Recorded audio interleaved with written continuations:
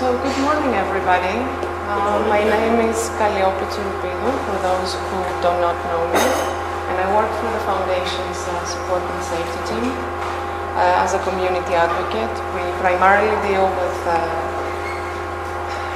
abuse, escalated abuse in the projects, and uh, I work on that field as well as with policy. Um, I would like, because I don't have a very loud voice, I would like to invite those of you interested in actually hearing to come and sit further to the front. Um, though no obligation, you can stay where you are as well, that's fine. But you might miss the best part.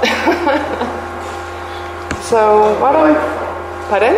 There's no microphone? There is no No, there microphone, is no. none, uh, because we have only two sessions here today and uh, to tell you There you go. So. I'm being honest with you. So yes, if, if, if you have any issues with not uh, hearing me loud enough, by all means do come to the front. I'm not going to be asking you any questions. Uh, so I'm not going to put you in a difficult position.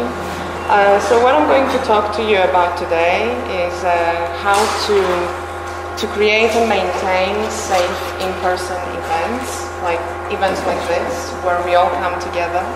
And, uh, we want to uh, make the most of it and feel safe and supported.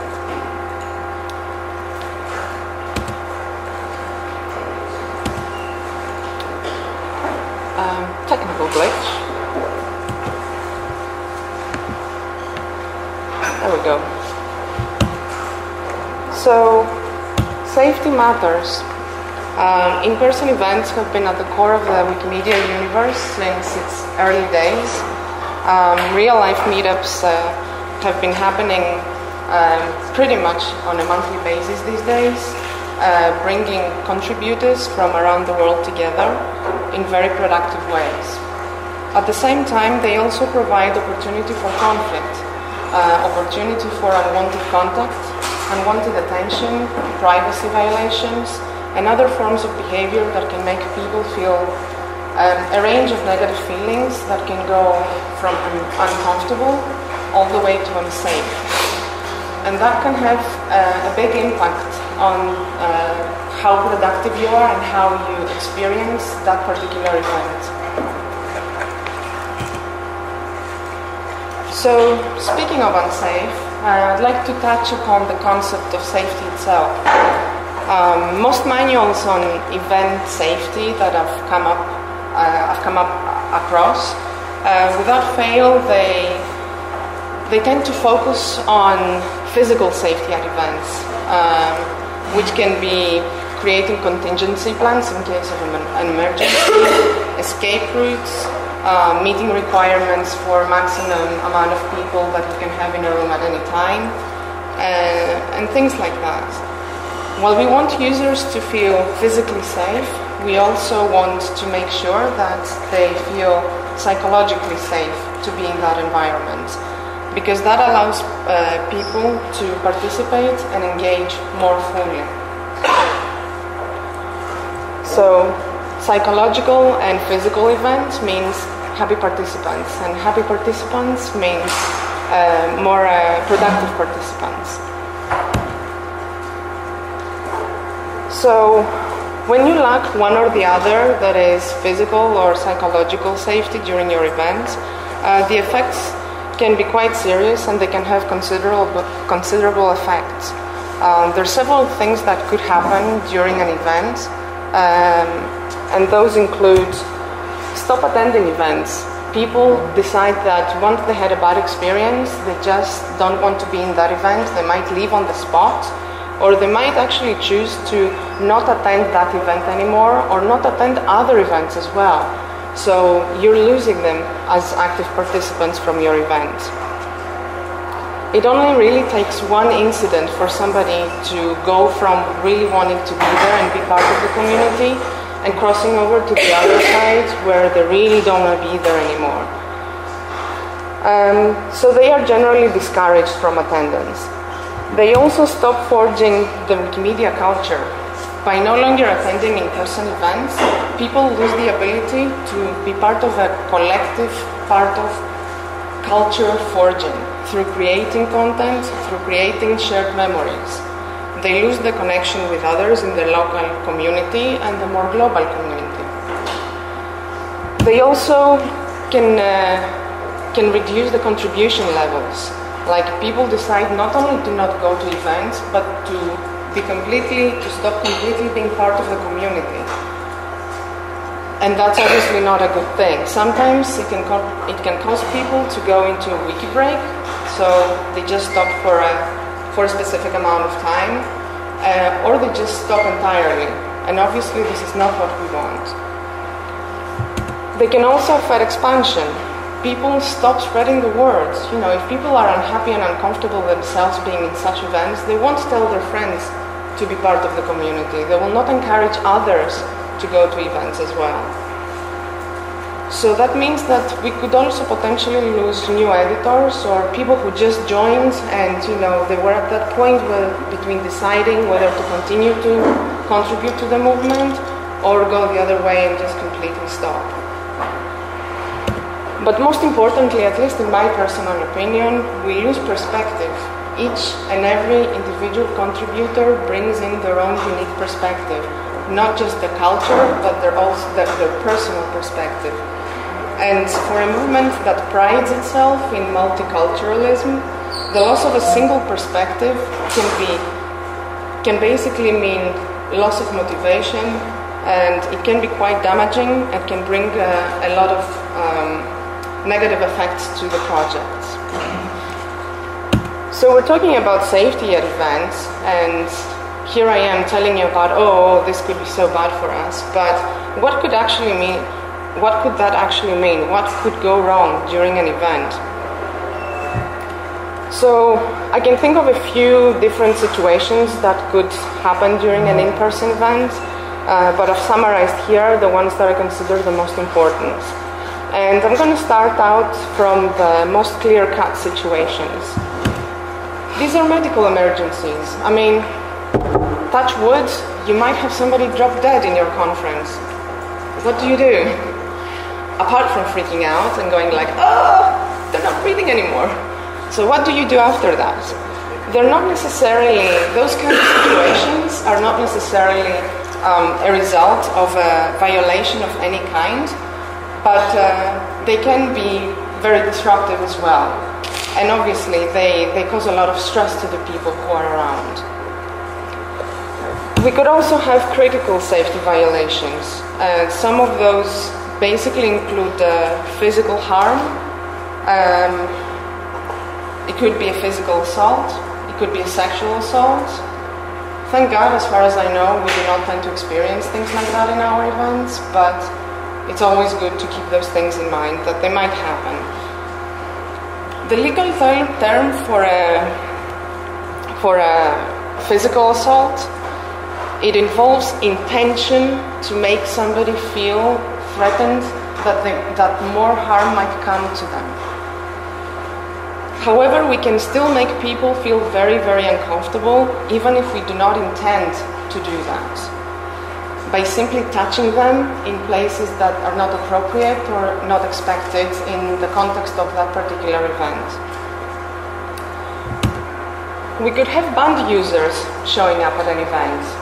Now, banned users, whether locally by the community or globally by the community or the Wikimedia Foundation, um, they are de facto restricted from attending events they are not allowed to contribute to the projects. So by default, they should all also no longer be showing up at events. However, you know, sometimes somebody might attempt to show up, or they might indeed show up, and that's a de facto uh, violation of the terms of the ban. And that could also make people feel uncomfortable. We could have major safety violations I think we almost had the same thing in Iran just because we know we had a banned user and we had a meeting. He came, we didn't know him, he took a picture of all members. Mm-hmm. Yeah. Well, so these things happen.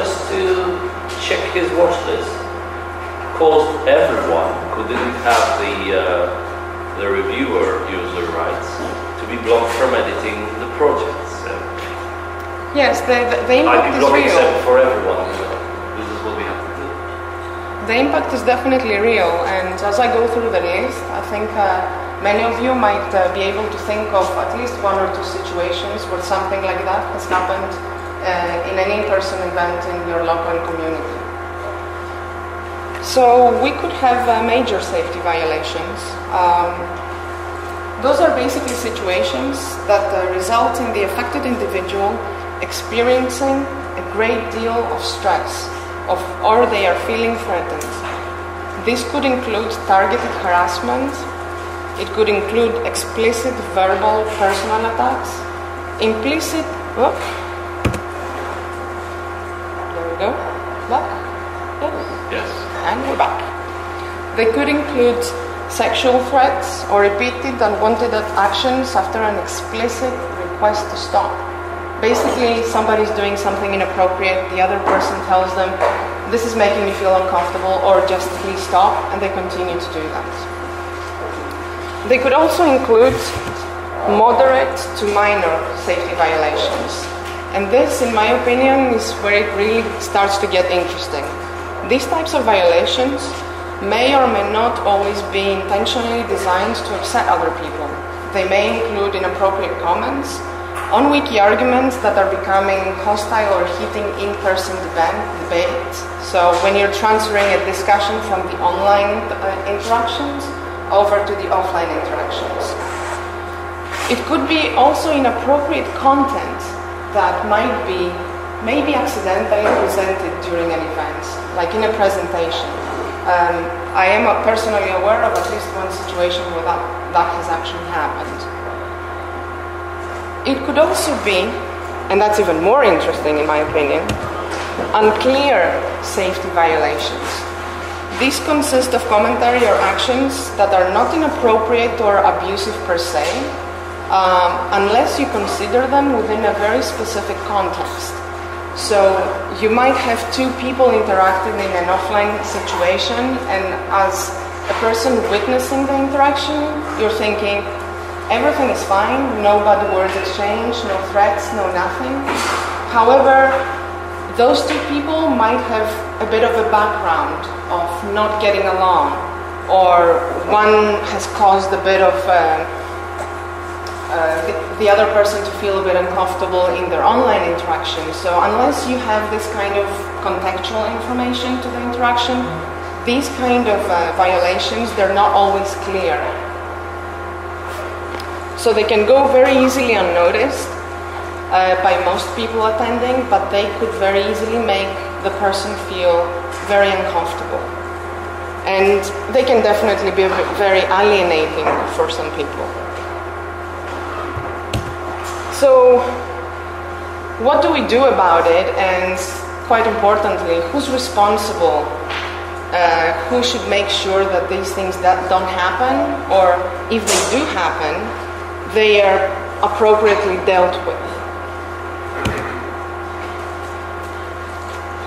It can be the event organizing team. That's the, the team of people who are organizing the events. They are making sure that all preparations are made in advance. Uh, they're in charge of the logistics. They make sure that everybody's fed, they've got somewhere to sleep, the whole lot. It can also be the hosting organizing team. This is, to put it simply, the organization that is funding the event where do you get your money to host your event? Is it your own money that you fundraise, or is it money that you have gotten through a grant from the Wikimedia Foundation or so? It can be the venue staff and security. In some situations, uh, like here, for example, you may be organizing events that are big enough to require a larger, a larger place, uh, like a hotel, like a conference center in those cases, those guys will usually have their own security. and for sure those uh, share a little bit of the responsibility in maintaining a safe space for everybody. But it can also be the participants. We can also, as attendees, share in the responsibility of keeping the event safe. So nobody's really excluded from this. We are all part of this and we all share in the responsibility.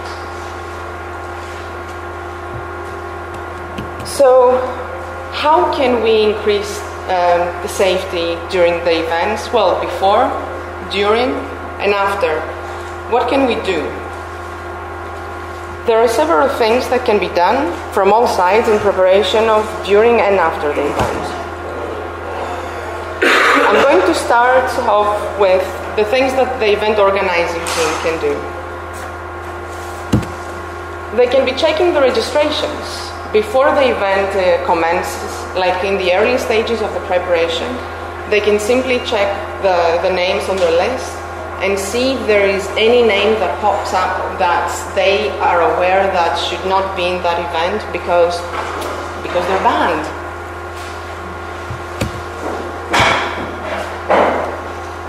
You could liaise with the venue. Uh, as an event organizer, you can make sure that they have uh, sufficient, sufficient uh, either um, staff or um, processes and protocols in place that would help help you handle an incident should that occur during your event.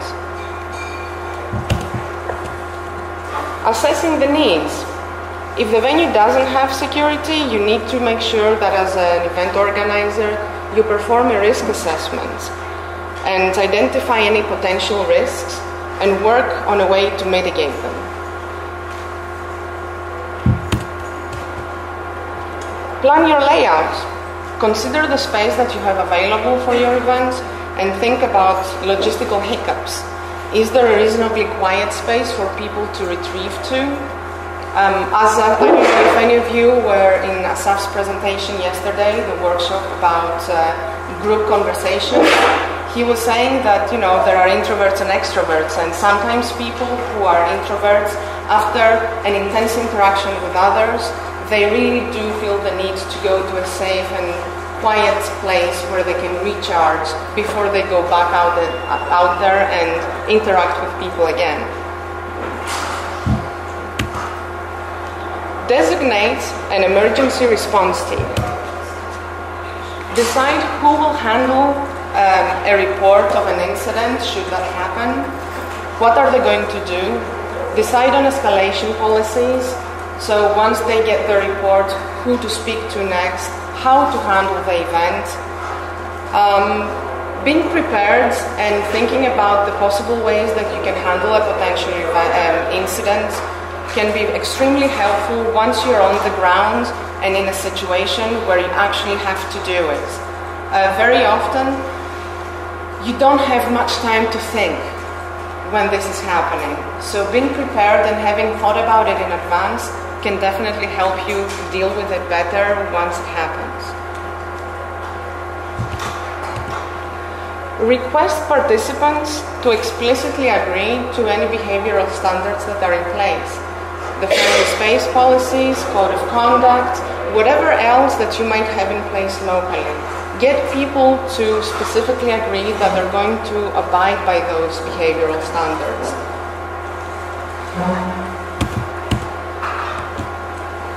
Prepare information. So getting people to agree when they register is definitely one step towards that direction, but people forget. It could be one or two months from the time you agreed to those uh, to those behavioral uh, policies and until you actually are at the event. So it's very easy to forget about these things. It always helps to have perhaps an, uh, an A4 poster that highlights the, in bullet points and in easy to understand language what people are expected to do, the ways they are expected to behave, and the kind of behavior that is not tolerated. You can post it throughout the conference space and it can serve as a good reminder to people. ensure that uh, your emergency team is visible. So, this is in a way more of a logistical consideration. Think about how your participants are going to be able to identify who to go to if something happens to them during the event. Are they going to be wearing a different color t shirts, fancy hats, a different badge? Um, any ways to visually easily identify the person that you can speak to is very helpful for the person who is either reporting uh, an incident because they witnessed it or because they personally experienced it.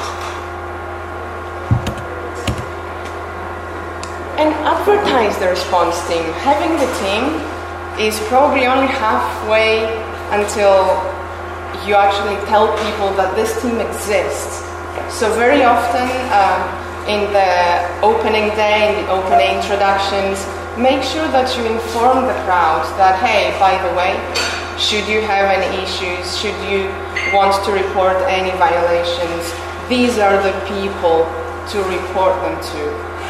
Putting a face to the name is also very helpful for the, for the person that might be reporting an incident.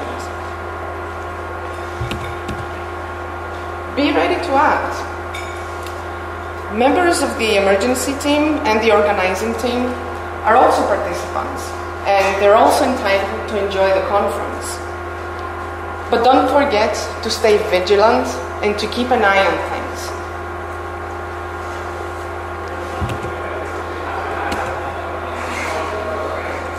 Once the event is completed, it's good practice to make a record of whatever incidents were reported throughout the, the uh, conference. Uh, it allows you to review with a clearer head what happened. It allows you to think about ways that things didn't go as well as they could have gone. Allows you to identify areas of improvement. Follow up in some situations that, uh, especially when it comes to the major or moderate safety violations, it's a good idea to follow up with the person who was immediately affected.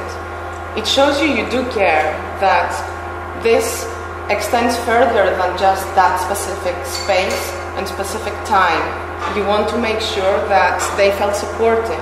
You want to make sure that if there was any follow-up issues with the person that had reported, you know about it. And get self care.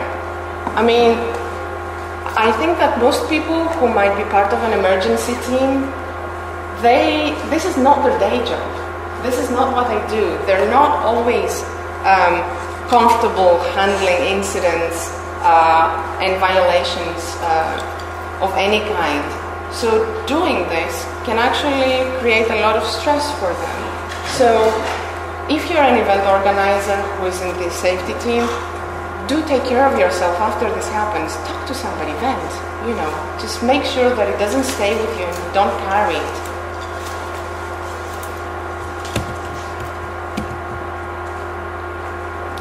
So, what the hosting organization team can do is support the local organizers in multiple ways. They can set up appropriate policies that can be an example to be copied and pasted in, uh, intact, or they can, um, the local organizers or the local communities um, can adopt to the local norms.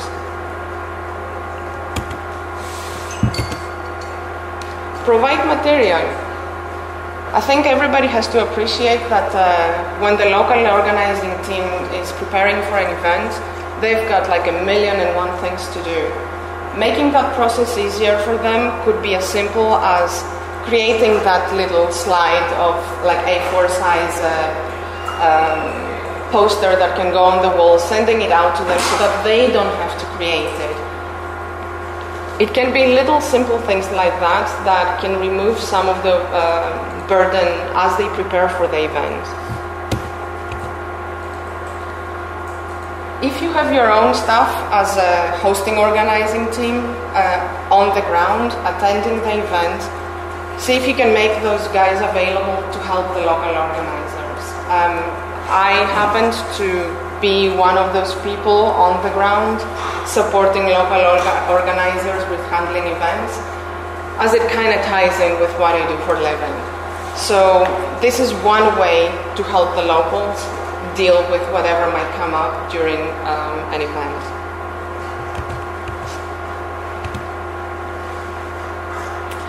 So, and this is very important as well, in my opinion, if not the most important. What can event participants do to contribute towards creating a safe environment and maintaining it?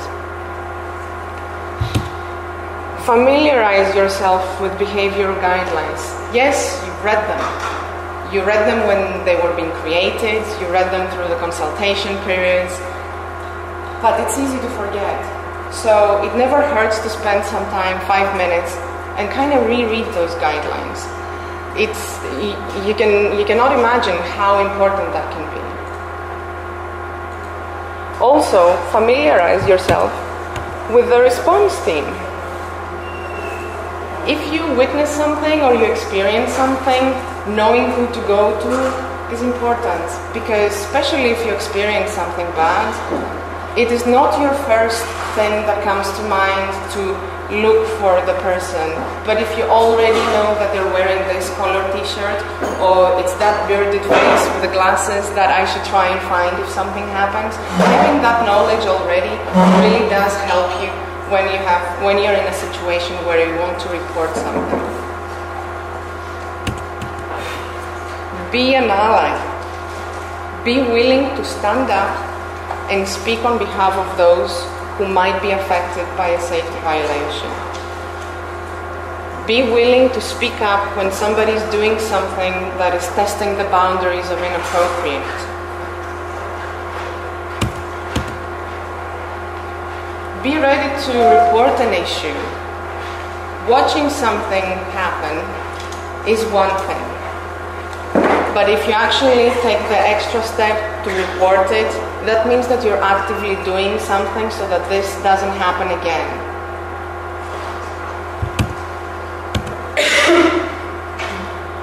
and keep an open mind.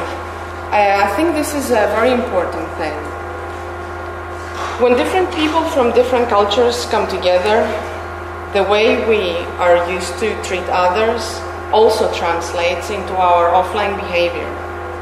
This may or may not be acceptable. What something is acceptable in our culture may not be acceptable in another culture. So think before you act. Think about how what you do might affect the other people around you.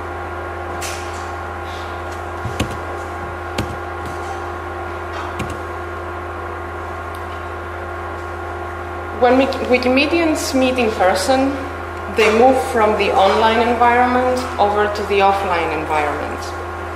When you move from online interactions to offline interactions, the main vessel of your communication changes. You rely on spoken communication more than on written communication.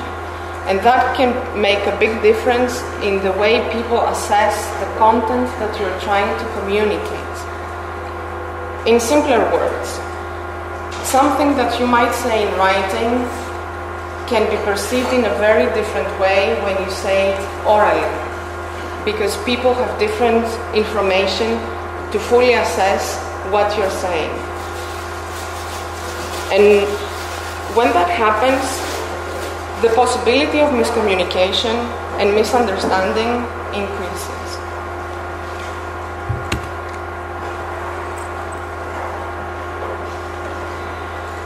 While both oral and written communication aim at the same pers- uh, at the same target purpose to relay a message, they vary differently. They vary da- drastically in the in the delivery methods. Oral communication does not require literacy. You do not need to be able to, ra- to read and write in order, in order to understand what the person is saying to you, provided it, it's in a language that you understand, obviously. In oral communication, the speed of transmission is very different. It happens instantly. The moment you say the words, they're out there. The person had heard it at the same time. In written communication, you might write something today, and the other person reads it a week later. So it happens at a much, much slower pace. For uh, those who, who are uh, familiar with Latin, I'm looking at you, Asa. Verba volant scripta manent. Uh, spoken words fly, written words remain.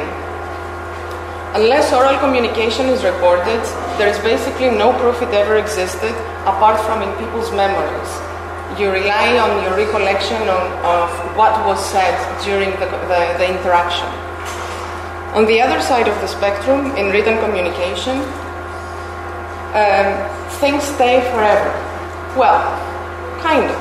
I mean, you can change them in Wikipedia.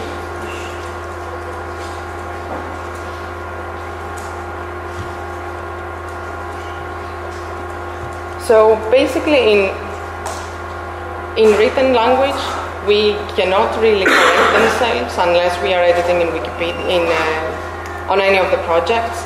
Uh, whereas in spoken language, we can make corrections instantly. You get uh, information about how the other person perceived what you said, and you're like, oh, no, no, no, I actually meant this and that and the other. And that's the instant feedback. So you can change things. In written communication, that can also happen, but again, at a much lower pace. I was talking about the speed of transmission earlier.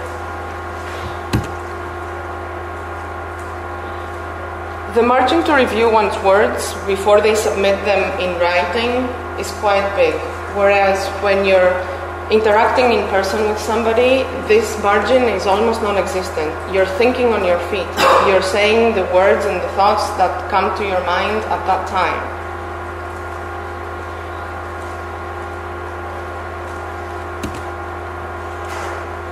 And another major difference between oral and written communication is that in the former you have non-verbal cues you rely on more than the content in order to assess what the other person is saying to you.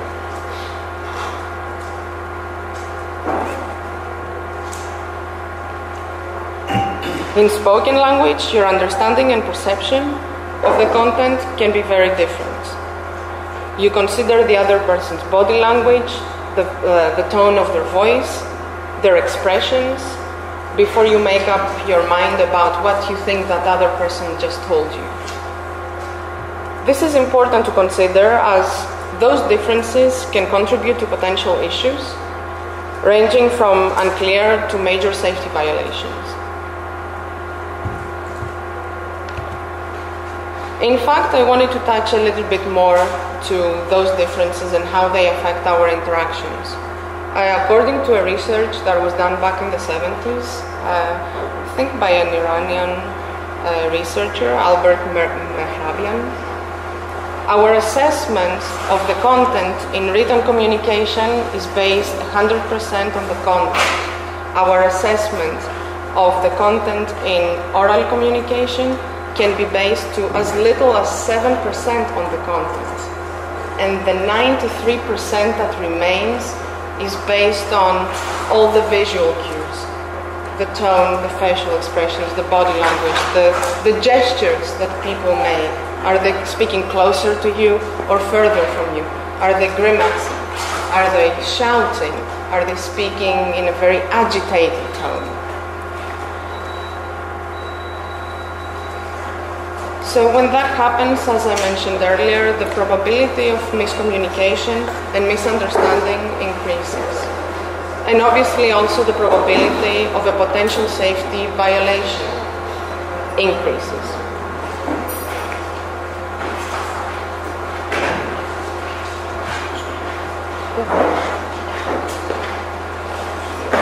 I'm cautious of uh, the time restrictions, so I wanted to just do that little introduction for everybody.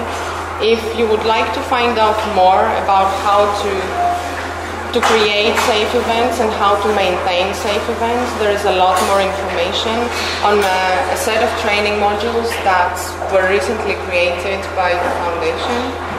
Um, you can find them. There's one module on keeping events safe, which is basically a much more expanded version of my talk to you today. And there is a separate training module on dealing with online harassment. I have to warn you, that's quite a big training module. It has many different smaller modules. Uh, I would strongly encourage people to take those modules as I think that they can be very, very beneficial, even as just information to keep at the back of your head. And that's all I have for you today. Thank you.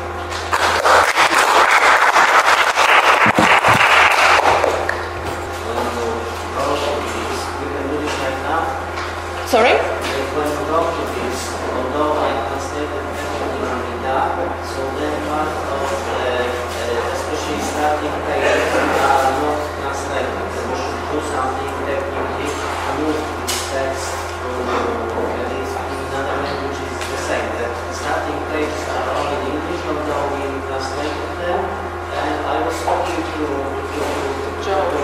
Yes, but uh, no reactions.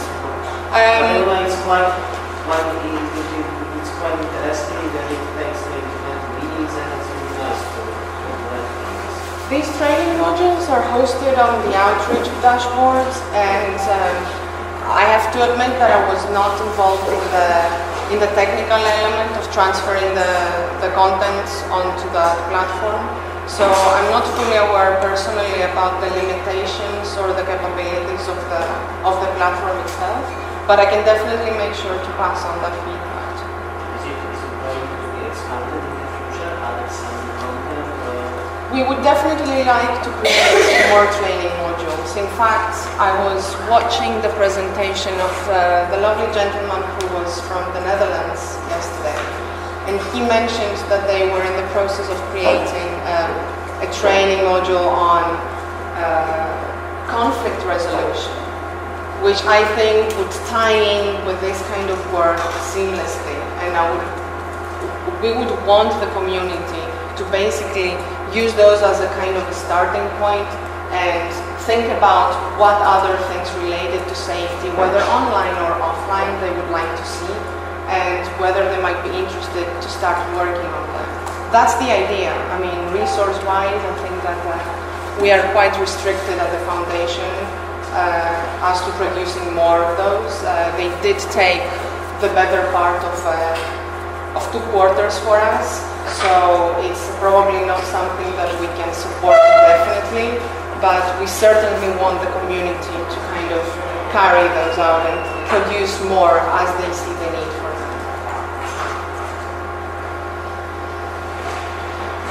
Any other questions or thoughts?